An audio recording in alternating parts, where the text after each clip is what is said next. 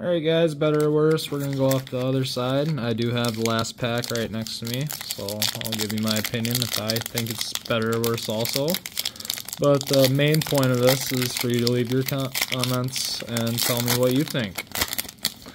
Highlights of the last video was the Tidespout Tyrant, Krenko Mob Boss, Brazing Etcher Acheron, I might have butchered that, Stitching Time, and Shattering Spree. So we'll see if we can beat that. Pack Rat, okay.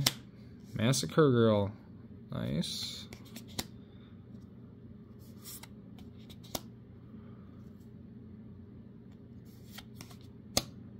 Is it okay? Okay.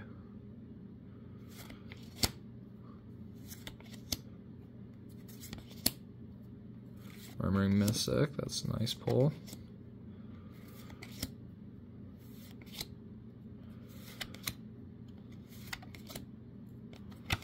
Alrighty, going off a first glance, I'm just going to say that that last pack was better just because I had more solid pulls out of the last one, and it's hard to beat Krenko an extra turn and not having opponents attack you, or creatures, I mean. Alright, stay tuned for the next video, guys. We'll, we'll be comparing that pack to this pack I just opened up. Thanks for watching.